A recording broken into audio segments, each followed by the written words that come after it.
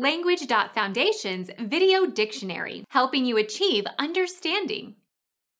Yiddish, an attractive, unconventional woman. Chachki, Chachkala, Sitski, T. Yiddish, an inexpensive showy trinket. Chachki, Sitski, T.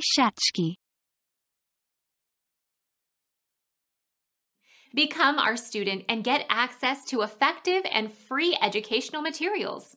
Subscribe to our channel to become a part of our growing community and to learn English effectively.